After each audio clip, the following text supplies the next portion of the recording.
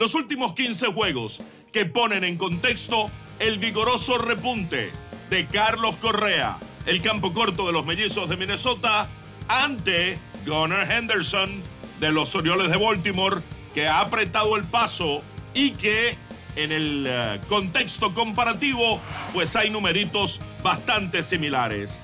Ambos con 63 turnos, 18 anotadas para Henderson, 14 para Correa, 5 honrones para Henderson, 3 para Correa, un total de 12 impulsadas para el shortstop de Minnesota, 11 para el de Baltimore. Y si miramos los averajes, mejor promedio de bateo y OVP para Correa, pero mejor slugging y OPS para Gunnar Henderson.